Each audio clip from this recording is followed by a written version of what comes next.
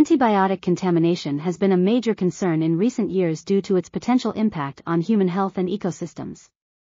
A study conducted by researchers from China and the United States identified the presence of antibiotics in rivers around the globe, with the highest concentrations occurring in less developed regions such as Africa, South America, and Asia.